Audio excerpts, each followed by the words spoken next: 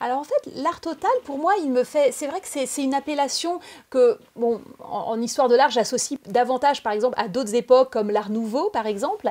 Mais donc, j'ai voilà, j'ai essayé de réfléchir à ça, à essayer de, de voir les correspondances finalement entre. Ah, parce que ça m'a surprise, en fait. J'étais très surprise par cette appellation d'art total et, enfin, et, de faire le lien avec le romantisme, par exemple. Elle, serait à rapprocher d'un autre concept qu'on utilise souvent en parlant du romantisme, c'est la fraternité des arts.